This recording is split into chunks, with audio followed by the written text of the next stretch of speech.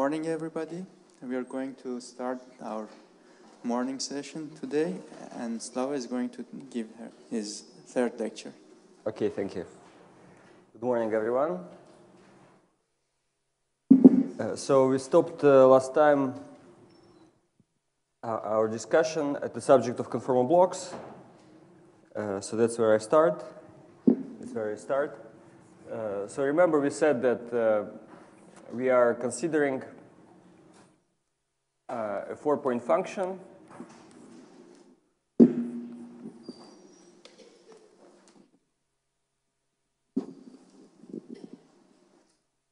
which I can express by doing the OPE of two operators and two operators. So I get it as a sum uh, f1 to k, f3 for k, and then here is some differential operator which acts at the operator OK at the point x2. And there's also another differential operator which acts uh, at the operator OK at the point x4. And uh, this thing here can be expressed, I said, as a, as a certain function, uh, g delta k lk, which depends on the cross ratios, divided by some um, kinematical factor, some x12 to some power, x34 to some power, some trivial factor here. And so this function here is called conformal block. Conformal block. And by the way, sometimes this whole thing, this whole thing, including this kinematical factor, is called conformal partial wave.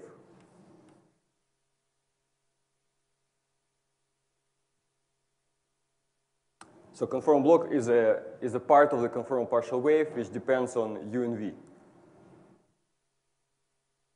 And uh, uh, so I would like to discuss how uh, one can compute these conformal blocks. And uh, there is a certain differential equation. There's a, there's, a, there's a differential equation which is called Casimir uh, differential equation. It's a partial differential equation which these conformal blocks satisfy. Uh, so I'd like to explain how this come about. and uh, um, so this has group theoretic origin, this equation, see Casimir. And uh, to derive it, we have to first of all uh, recall that uh, so we have a, we have a, as I said, we have conformal group, we have conformal algebra,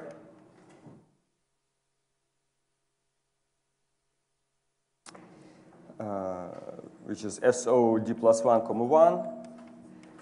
And it has generators P mu, uh, M mu, dilatation generator D, and uh, special conformal transformations generator K mu. This is all there is in, in D dimensions. And uh, so each of these operators gives rise uh, to a Ward identity expressing invariance of a correlation function under this generator. So, so this Ward identity has, so let me call all of these generators LA. Uh, so the Ward identity has the form. So if you have a if you have a correlation function, let me say, okay, let's take the same correlation function as there there, and then so the Ward identity says that LA acting on this correlation function uh, equals zero. But uh, what it means in practice is that you have to have take a sum of the following form. So you take LA uh, acting on the first operator, or 1x1, or 2x2 dot dot dot plus O1 x1 LA or 2x2 dot dot dot. So if you take the sum of all these terms, uh, it, it gives you zero. This is the Ward identity. And so each one of these things appearing in this Ward identity is a differential operator, a first order differential operator. So, I mean, uh, for example, if LA is equal P mu, then this equation expresses infinitesimally the fact that the correlation function is translationally invariant. Right? So if we put there a dilatation generator, then this just expresses that the correlation function is uh, transforms correctly under dilatations. So this is the infinitesimal form of, of the fact that the correlation function is conformally invariant. So, uh, so each of these operators can be worked out. For some of them, it's, uh, it's uh, for some of them, it's of course uh, well known.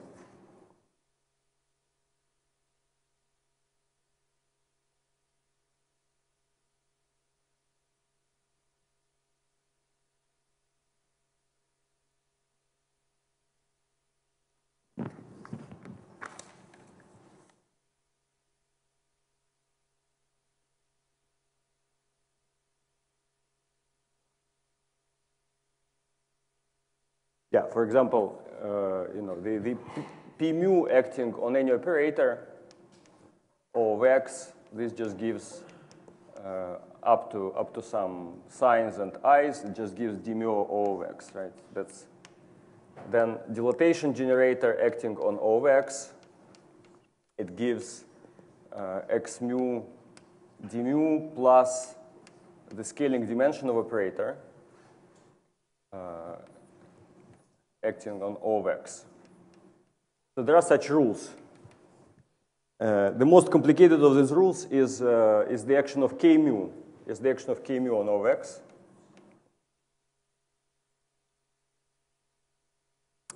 Let me write it down. So it's equal to uh, 2x mu xd uh, minus x squared d mu and then there is a part plus 2x mu delta uh, plus uh, 2x lambda sigma mu nu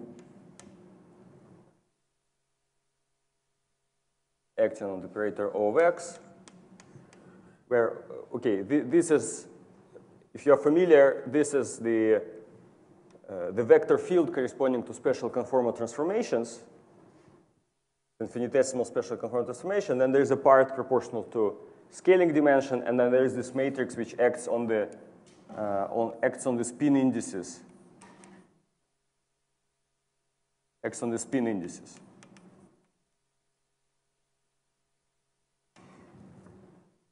But in any case, so there are such formulas that, that you can look up for each generator of the algebra. Uh, and uh, so we have the conformal invariance of the correlation function expressed in this form, but we also have the conformal invariance of the OPE. So I was, um, I was discussing, so this OPE, which is written there, So let me write it again, uh, O1x1, O2x2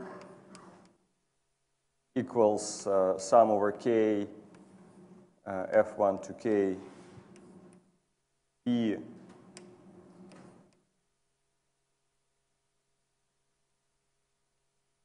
x2.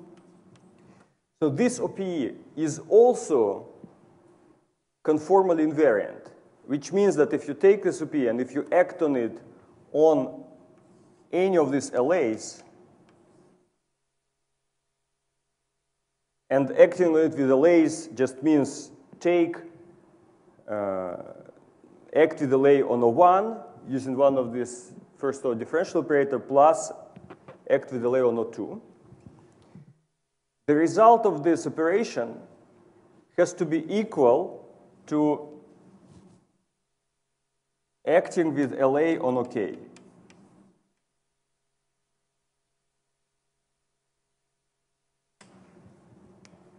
So this equation Uh, so, express, so this equation expresses conformal invariance of the OPE. And actually, uh, so yesterday we were discussing how to determine uh, this infinite expansion, this, this infinite expansion in derivatives P. And I said one way to determine it is to match with the three-point function. But another way to determine this expansion is just to enforce this property that you can commute LA, you can push LA through from acting on the left-hand side of the OPE to acting on the right-hand side of the OPE. So this property, uh, this property is very important, and actually this property guarantees that if you, so if, if you start from this property, and you say, well, now I'm going to use OPE to compute uh, three-point functions, four-point functions, and so on by repeatedly using the OPE, it's going to guarantee for you, I'm not sure, okay, if you don't see it and think about this, that it will guarantee for you that the correlation function that you get in the end of the day are going to be conformally invariant. This property is necessary to guarantee that the correlation functions that you compute using the OP are conformally invariant. Yes?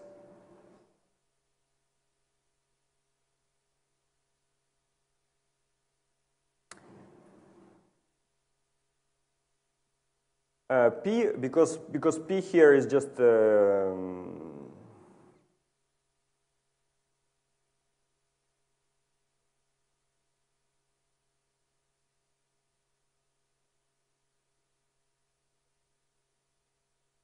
Well, it's not guaranteed. I'm telling you that this P has to be determined in a way that you should be allowed to, to, to do this uh, procedure.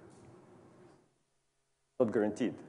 If you take precisely this operator P contains derivatives, and L also contains derivatives. So if you take whatever P you, you want, this is not going to be true, definitely.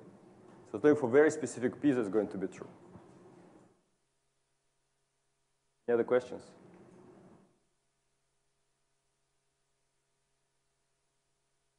So, uh,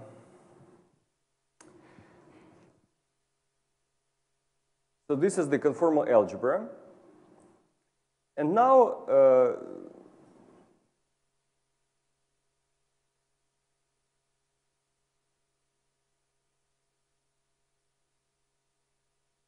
and now we can do the following trick. Take the conformal block, take the conformal block. Let me express, express here. Conformal block is individual term where I just, I do not sum over k's, but, but here I, I take one particular k. This is conformal block, or let's say conformal partial wave, everything. And now I'm going to act on this conformal block with a particular operator. Uh, so I'm going to act on it with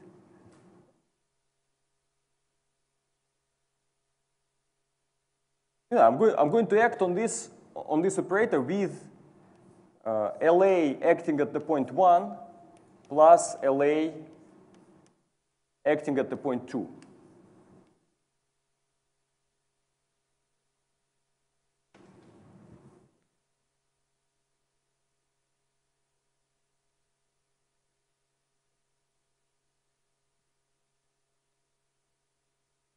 Well, actually, this LA acting at the point one, LA at the point two, it means really LA uh, acting on O1 x1 or 2 x2.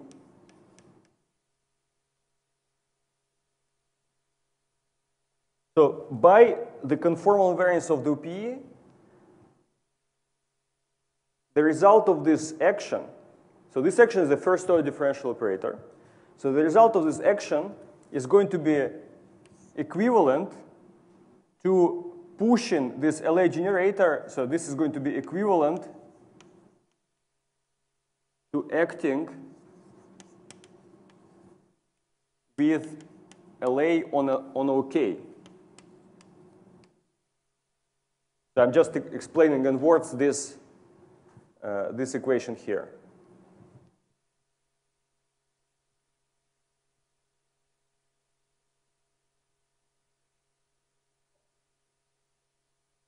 But now let me do it the second time. So let me act, so now act the second time. So I'm considering a differential operator of the form d equals uh, sum over a, LA1 plus LA2 squared.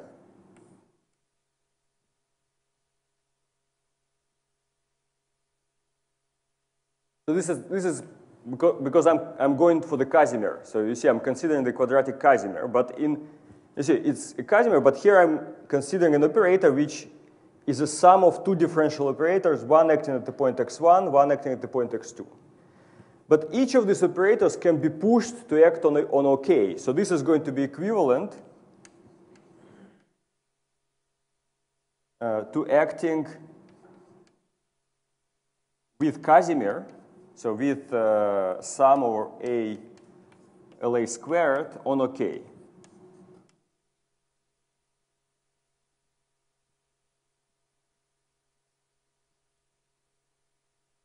But uh, here we go, because so, so, okay, this operator was a complicated operator. It was acting at two different points. But here I already have an operator which acts on one point and is applied to this operator OK sitting at this point. And here, uh, you know, we, we just have uh, a basic uh, theory of group representation. So if you have a quadratic Casimir of a group acting on uh, any representation, it's going to give us the same operator times a constant. So there's going to be an eigenvalue so this, this is going to be equal to some eigenvalue, C delta L, uh, times OK. And this, this eigenvalue can be worked out. It's um, something like uh, delta times uh, delta plus d minus 2 no, it's, sorry, it's uh, delta times uh, delta minus d plus uh, L times L plus d minus 2.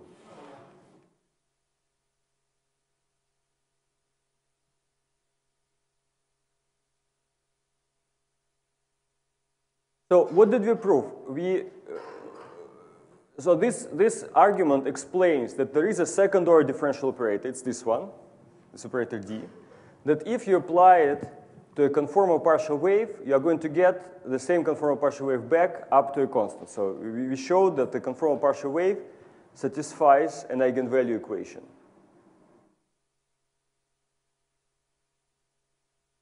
So uh, here we go. Now you have to work out this equation.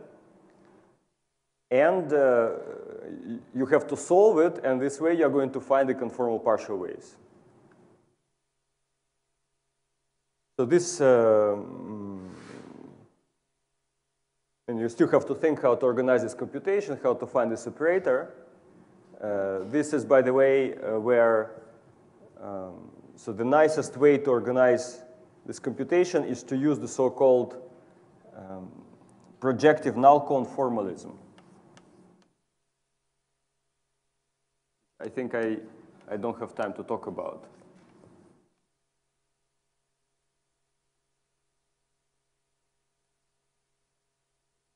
But since, uh, according to the survey, it's something that, uh, uh, that not many of you are familiar with, so it's a formalism which allows, uh, so let me just say a few words. So in this formalism, you're lift the correlation function of a conformal field theory, which are defined in d-dimensional Euclidean space, you can lift this, um, these correlation functions uh, to a cone in d plus two-dimensional space. And the advantage of this thing is that on the cone, when you lift the correlation functions to the cone, uh, the conformal group, which acts on the Euclidean space in a somewhat complicated way, in particular the special conformal generator.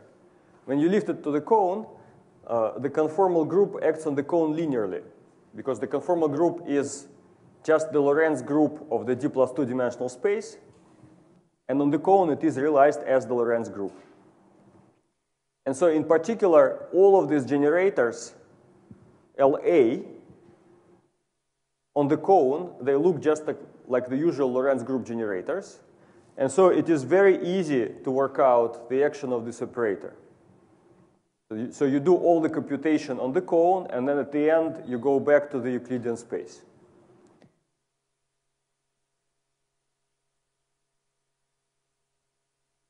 So I'll, I'll just uh, write down the answer for this operator, and it's instructive uh, to see,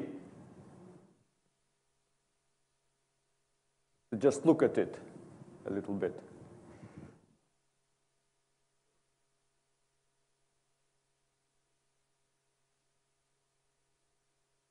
So it, it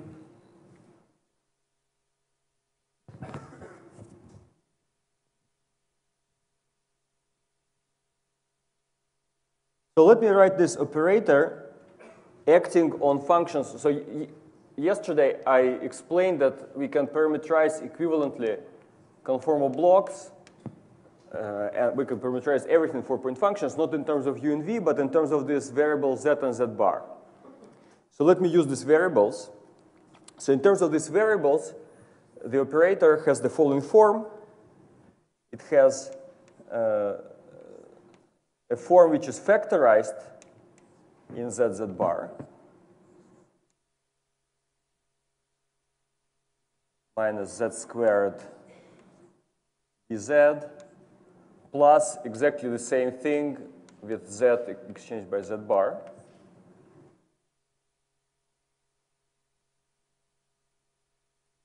And then there is a second piece which vanishes in d equal to 2, so it's proportional to d minus 2. Uh, z bar divided by z minus z bar, and then uh, 1 minus z dz minus, uh, minus z going to z bar.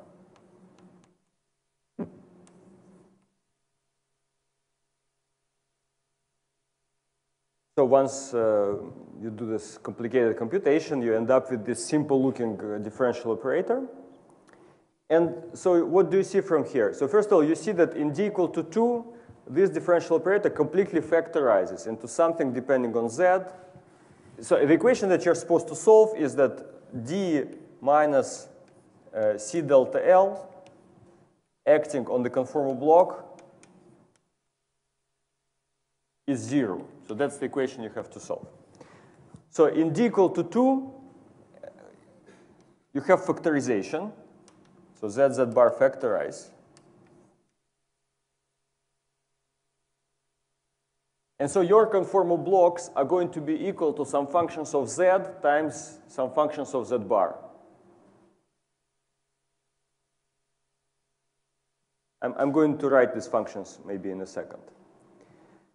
So if you go to higher d, then there is this second term in, uh, in, the, in the equation which does not allow you to find the conformal blocks in a completely factorized form. So z, that's what I said. So we, we can use the variable z and z bar in any number of dimensions, but you are not going uh, to be able to take advantage of the factorization in higher dimensions.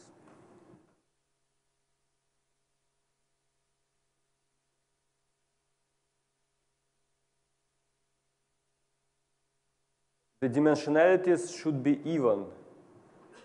Which, which dimensionalities?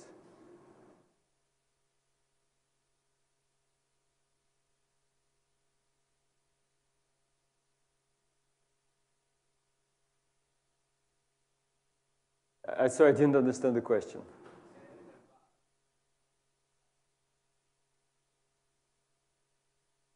So uh, in, in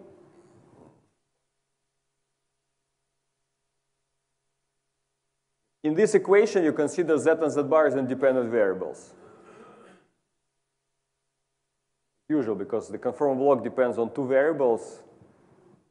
You can call them x and y, and you call them z and z bar, but uh, for the purposes of the differential equation, these are independent variables.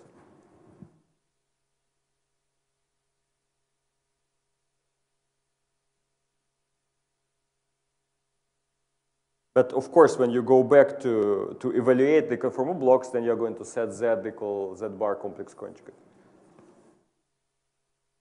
Any other questions?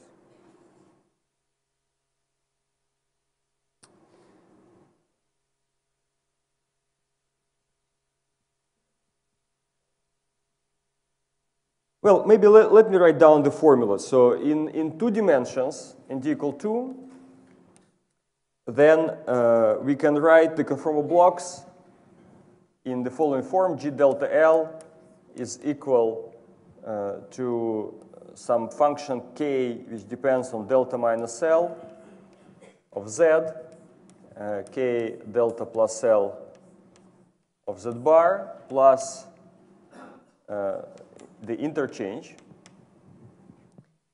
where this function k beta of z, it's uh, z to the power beta over 2, uh, the hypergeometric function to f1 with arguments beta over 2, beta over 2, beta z. So this is such a nice explicit formula for which follows from just solving this differential equation. Then in d equal to 4, is another interesting case. It turns out that you can, uh, you can also solve this equation. And the formula you get uh, looks as follows. Uh, zz bar divided by z minus z bar you solve this equation by taking an, an ansatz. Let me, look the let me look for a solution in the form 1 over z minus z bar times something. And it turns out that this ansatz goes through and it gives you a factorized equation. So here you have uh, k delta uh, plus delta minus L uh, minus 2 uh, of z k delta plus L of z bar plus z going to z bar minus z going to z bar. So uh, in uh, so in d equal 2 and d equal 4 dimensions, there are these nice formulas. In other dimensions, for example, in d equal 3, uh, there are no such uh, known nice formulas for the conformal blocks.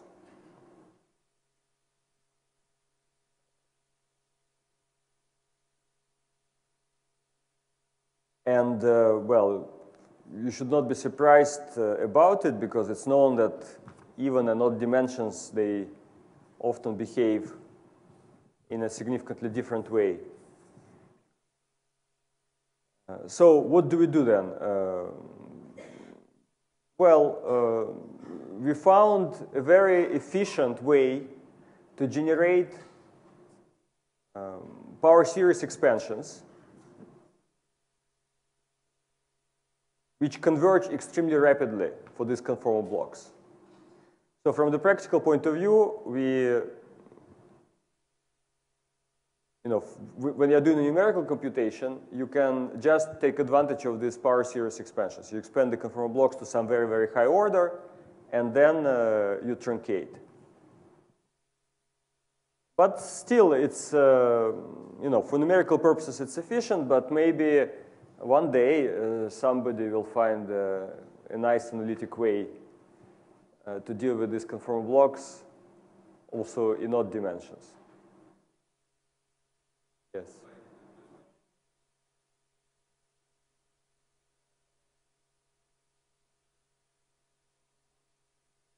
Yes.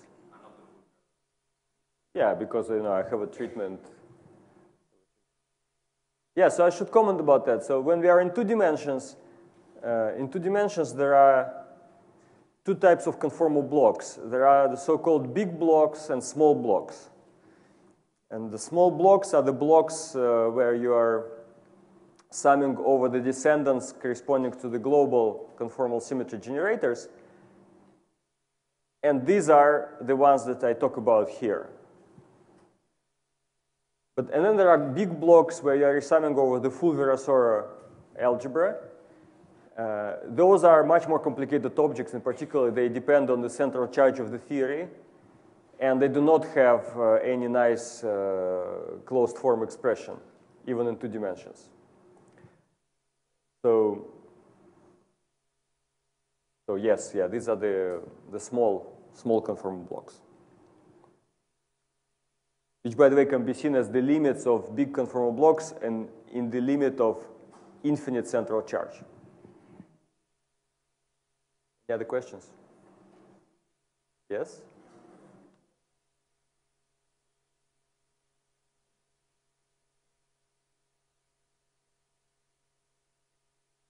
Uh, sorry, I did not understand. Yeah. Yes. Um, yeah, so, so this equation needs to be supplemented by, by the conditions, by the initial conditions.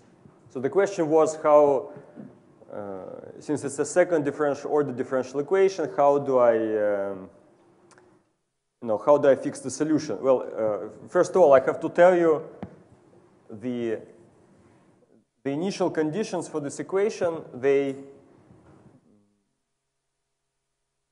they take the following form. So in the limit when z, uh, z bar going to zero, which is the limit when the two points collide. So in this limit, I can use the OPE in order to determine the leading term of the conformal block. And this leading term looks like uh, g delta L of z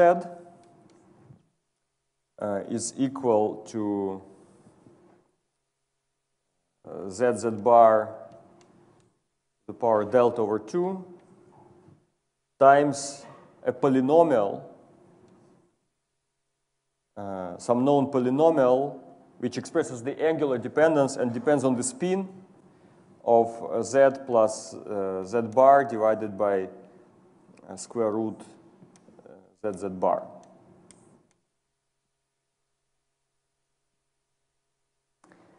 So this is the leading behavior.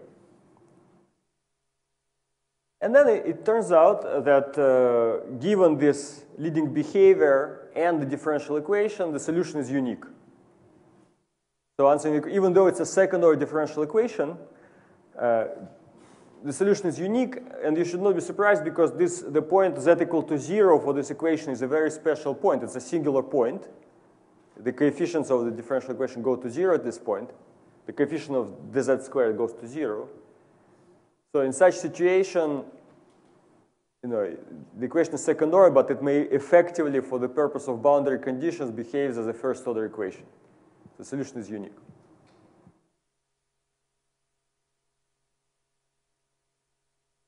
Okay.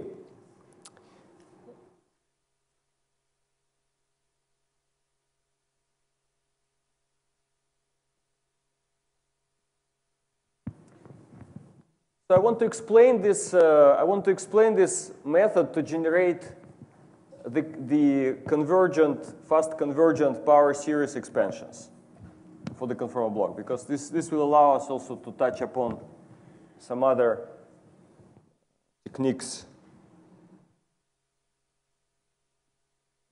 some other techniques in this business. So series expansions.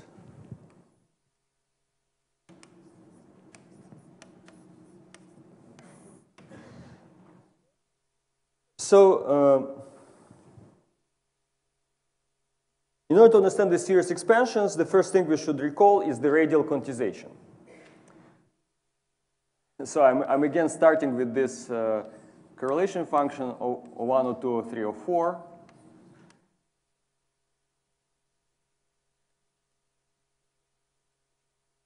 So, so far I was not discussing, uh, I was not really discussing the Hilbert space structure of my conformal field theory, but you know, those of you, uh, those of you who are familiar with the two-dimensional CFT, they will remember that uh, one often considers uh, radial quantization, which means that we pick, we pick some origin, okay, let's say point x equal to zero, and then there are these two points x1 and x2, and then we quantize our theory uh, on the spheres surrounding the origin.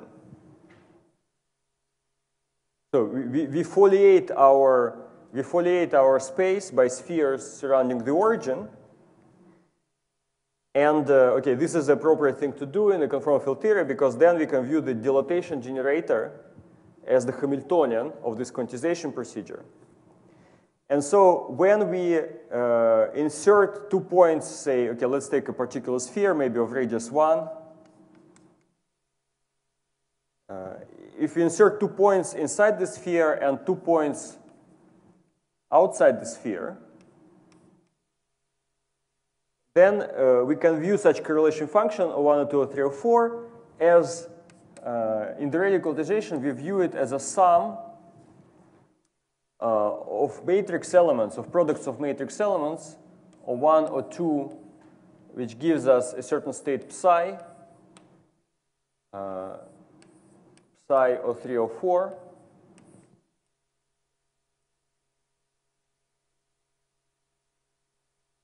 where the sum is over the, uh, the basis, the orthonormal basis of states living on this sphere. This is the radial quantization. And the nice thing about radial quantization is that it works in two dimensions, but it also works in higher dimensional CFTs, completely analogously. So in particular, we have a state operator correspondence, which says that, this, the, that these states living on the sphere, they are in one-to-one -one correspondence with local operators inserting at the origin. So the local operators. So these states can be generated by, uh, by some operator O uh, inserted at the origin acting on the vacuum. Or, uh, you know, this is, this is one state, therefore is the primary, and then we have also to consider states uh, d mu O acting on the vacuum, uh, d mu d nu O acting on the vacuum, and so on.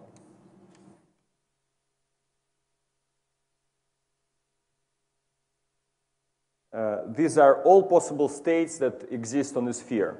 For all pos if we take these states for all possible operators O, we get all states on the sphere. Now, uh, these states are not going to be, if, if you consider states on this basis, then in general they are not going to be uh, orthonormal. So, uh, so there's going to be some Gram matrix with, between these states. If we want to go, if we want to go to the orthonormal basis, we have to invert this Gram matrix.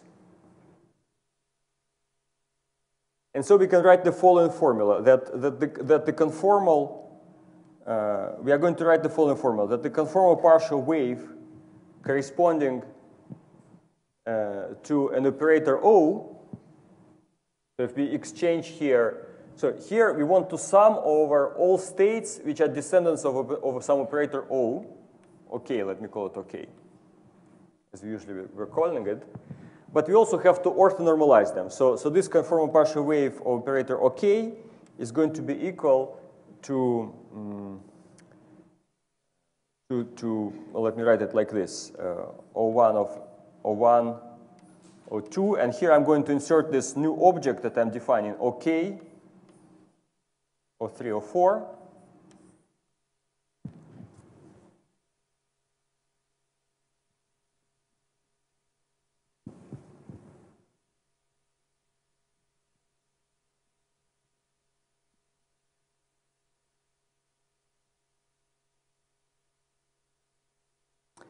Uh, and uh, this object, OK, is the sum over all states, uh, over all states of the form O, P mu O,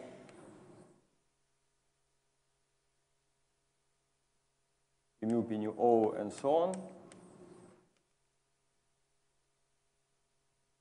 I have here alpha, and here I'm inverting. So this is the Gram matrix which I have to invert, uh, beta.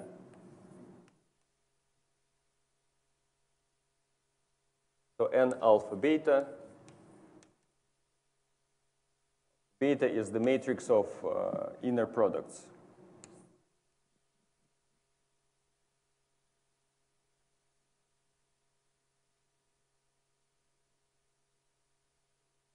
Yes.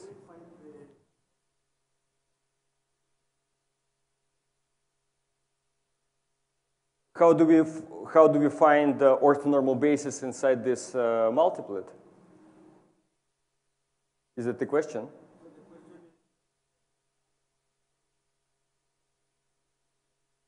Yes. So the, all this, so you have to take this basis in the natural uh, form, OK, demu OK, and so on. And now you have to orthonormalize the basis. In order to orthonormalize the basis, you compute the Gram matrix, then you invert it, and uh, you, get a, you get an orthogonal, orthonormal basis.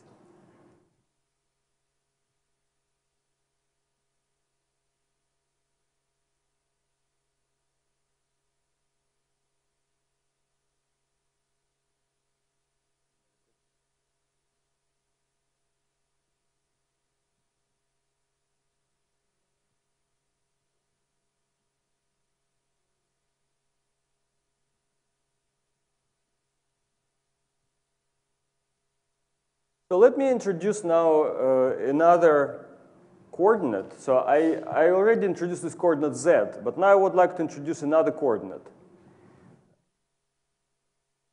So in my coordinate z, I was inserting one point at the origin, one point at z, 1, and infinity.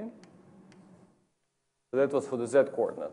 But now I would like to insert points symmetrically. I would like to insert two points, I would like to introduce coordinate rho such that uh, there are going to be two points in my correlation function inserted symmetrically at rho and minus rho. And then uh, two other points I'm going to fix at 1 and minus 1.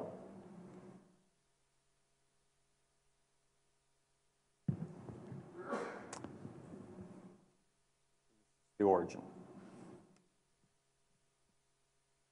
So, uh, so this coordinate rho is going to be of absolute value less than 1.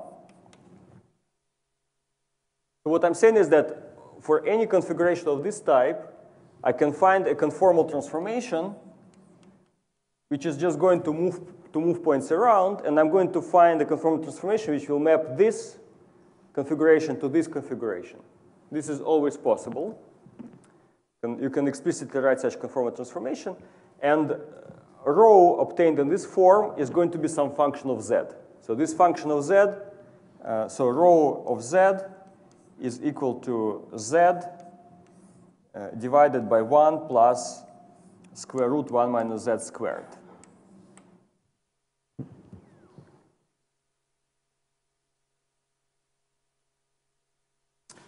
So the reason, so here I'm uh, you know, I'm, I'm taking, for, for theoretical studies, this variable z is totally okay, it's totally convenient. But since uh, at the end of the day, I'm going to, to use the numerical analysis, it's uh, important to expand my conformal blocks uh, in a way which is going to lead to the most, uh, to the fastest convergent power series expansions. So what I'm saying here is that if you want to do a fast expansion, then it's much nicer to expand in the variable rho rather than in the variable z. I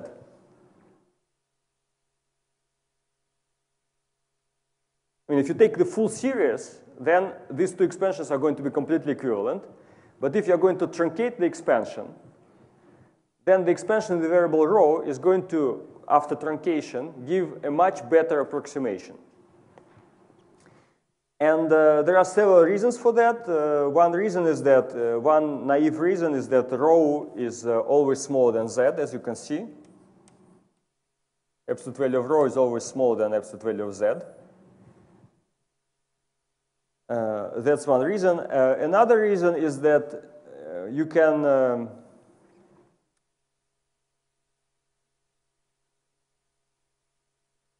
you can see that when, you, when you're going to truncate the expansion in the rho variable, it will, it will correspond to still keeping uh, an infinite number of terms, resumming an infinite number of terms uh, in the z variable. So you're, you're going to be throwing out fewer terms if you expand in the rho variable.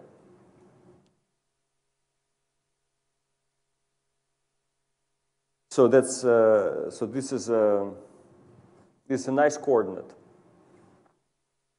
But uh, for, for, numerical point of view, but also this nice co this coordinate is um, it also has some theoretical advantages because now since we inserted the points uh, symmetrically,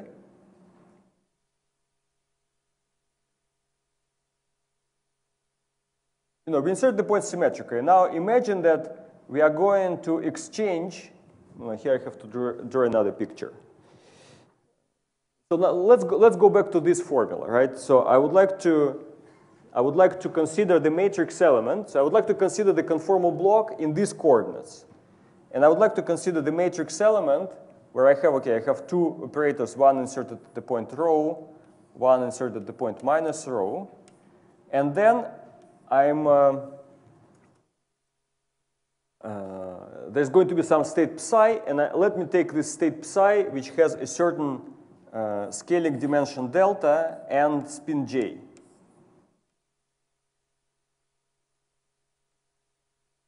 And then the other two operators are inserted at 1 and minus 1.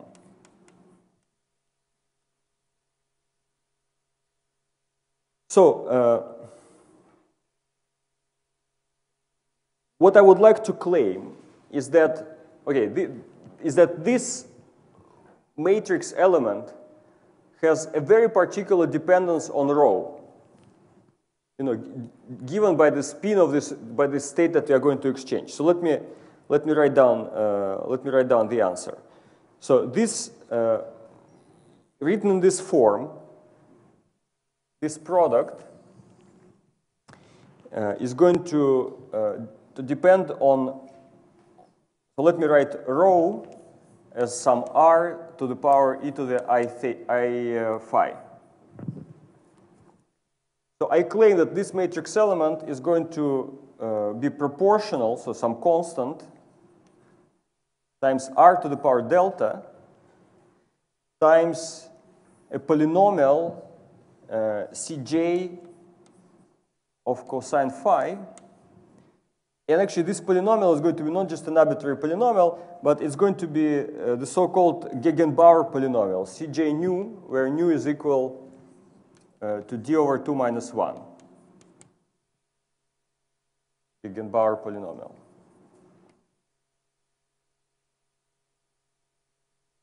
So if you're not familiar with Gegenbauer polynomials, it's a generalization of, uh, of the Legendre polynomials from 3 to d dimensions. So, uh, of course, we are, we are, all familiar with Legendre polynomials from quantum mechanics. So they describe uh, how uh, wave functions of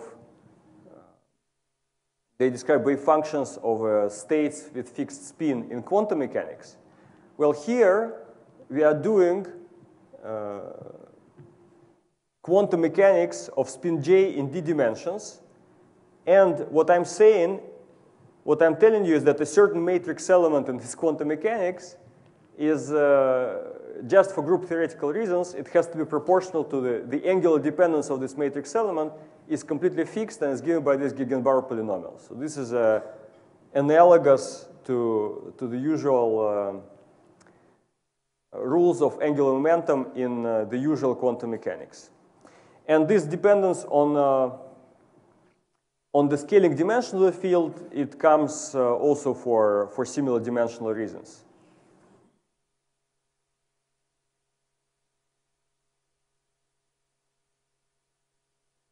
So I, I, realize that this is probably a bit sketchy, but let me write at least the end result, and uh, the derivation may be sketchy, but the end result you should be able to appreciate.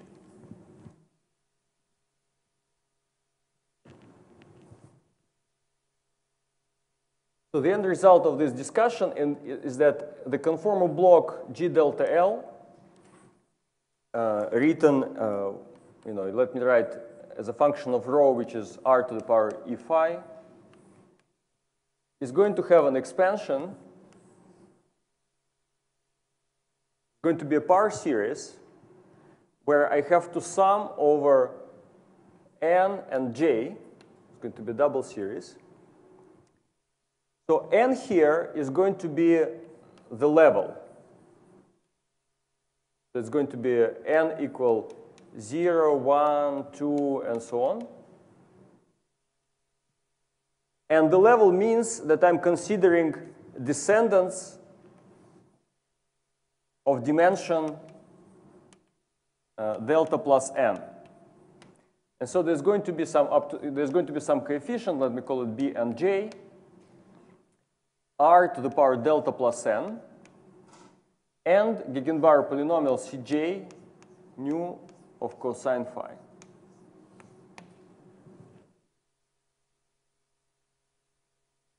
So, so this formula, it, uh, it captures completely the, no, it tells you the natural basis of functions into which you are supposed to expand your conformal blocks. These are, uh, these are the functions in which you're supposed to expand. And these coefficients, b and j, you, you have to determine them. So they are going to be some, uh, so these coefficients, b and j, are going to be some functions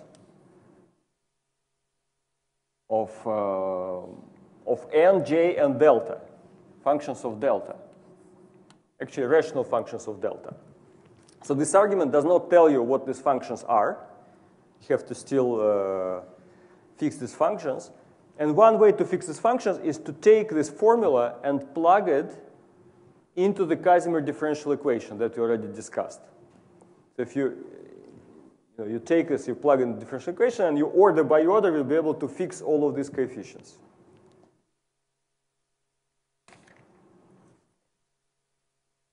That's uh, one way to do it, but there is actually a much more uh, efficient uh, way to do it. Uh, let me write, uh, actually, any questions about this formula? Sorry?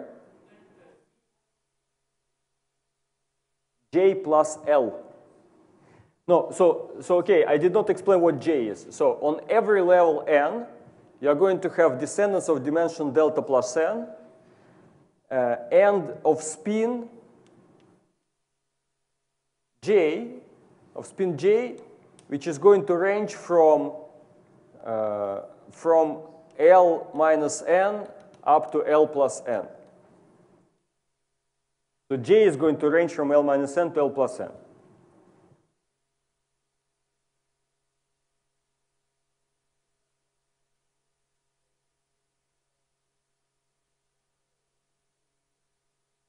For any different operators.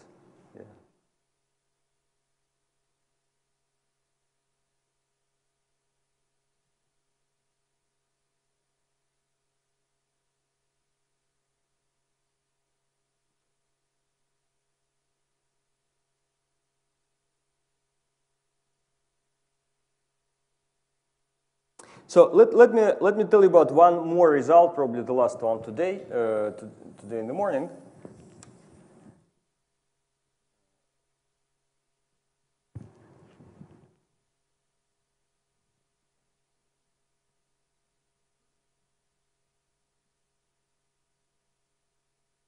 So some recursion relations. Let me tell you about recursion relations.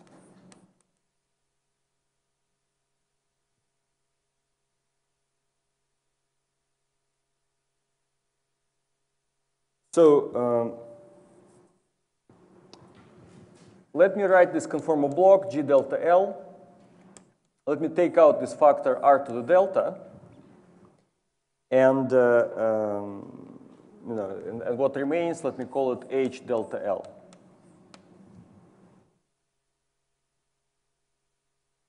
Then it turns out that for the function h delta L, I have the following uh, recursion relation. H delta L is equal, So h delta L is of, is of course a function of r and, and phi. This is equal to h infinity L of r and phi.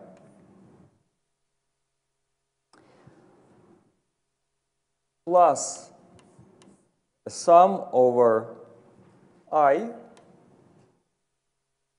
ci divided by delta minus delta i r to the power ni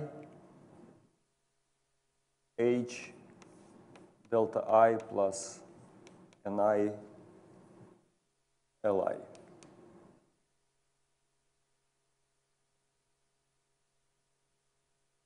And h infinity L is, is a known function. It's equal to, to, the, to the Gegenbauer polynomial, CL nu of cosine phi divided by 1 minus r squared uh, to the power nu square root 1 plus r squared squared minus 4 r squared cosine squared phi. Well, anyway, don't copy this formula. You can look it up in the notes. Uh, let me just explain you what this formula means. So this formula, it comes about by thinking what is the structure of the conformal block as a function of, uh, of the scaling dimension delta. So this formula tells you that conformal block as a function of delta has a series of poles. You know, these are delta minus delta i. These are the poles in delta.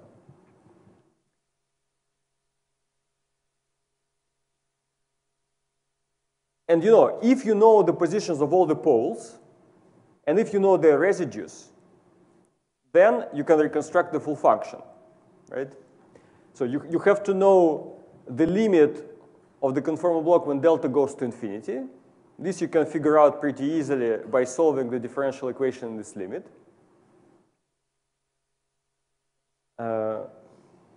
You still have to know the positions of the poles, the coefficients, and here you see something interesting happen. So here, uh, no, here what I'm telling you, what this equation tells you, is that if the conformal block uh, has a pole for a certain value of delta, then the residue of this pole is also uh, is also a conformal block. So this uh, actually uh, you can you can easily understand from from the um, from again from the differential equation, from the Casimir differential equation. So if you take uh, you, you take this whole formula and you substitute it into, so this formula has to substitute the Casimir, has to satisfy the Casimir differential equation. But near the pole, this term dominates. So everything else you can forget about. So it means that the coefficient of this, of this pole satisfies by itself the Casimir differential equation. So it is the conformal block. Right? So this is not so, uh, this is not so surprising. Now, uh, what is the origin of the poles and what are these coefficients? So the origin of the poles you can understand by, uh, by looking at this formula. See, here, uh, I told you that in order to compute the conformal block, you have to invert this Gram matrix. Generically, this Gram matrix is going to be positive definite, and inverting it is no problem. But for some very specific values of dimensions, this Gram matrix is going to be degenerate. And when you invert it, you are going to get a pole. So for these values of dimension, the conformal block is going to have a pole. So uh, you, can, uh, you can work out for which dimensions this happens. Now, of course, the dimensions for which this is going to happen are not going to be the physical dimensions that uh, occur in, uh, uh, in a real conformal field theory. So, so all of this, so in, in a real conformal field theory, all the dimensions in which we are interested are going to be positive, but the dimensions for which the poles occur, they're going to be negative. So these are unphysical dimensions, but you can formally consider the conformal block also for negative dimensions. It's an analytic function of delta. You can consider it also for negative dimensions. And this formula tells you that for negative dimensions, there are all these poles. So you can, you can uh, work out the positions of the poles, and you can work out also these coefficients. So these coefficients, Ci, uh, they are, um, I mean, they are more complicated to work out, but uh, you, can, you can work them out in several ways, either by matching with the Casimir differential equation or directly. So all of these things have been worked out, but now, you know, once you have this formula, this formula is an ideal method to generate uh, this power series expansion. Because you see, suppose that you want to compute a conformal block in that expansion. So you start with the first term. Then you have these poles. You see, each pole, it buys you so all these numbers ni, they are positive numbers. So actually positive and growing. So it's a, it's a growing sequence of positive numbers. So each term here buys you several powers of r. So you are, so you are uh, using this recursion relation, you push the cutoff in R higher and higher. So once you apply it several times, you can, uh, you can generate uh, you know, the terms that you don't know, they get pushed to higher and higher orders in R.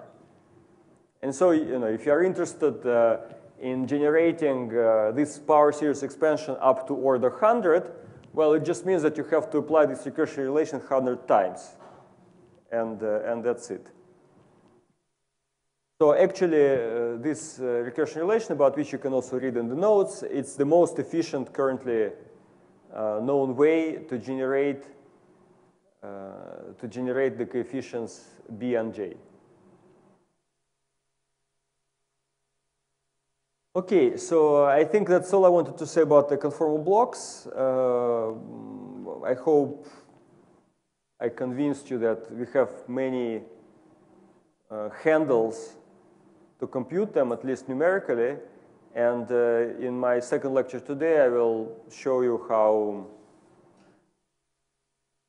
how you can put them to use and get some results about conformal field theories.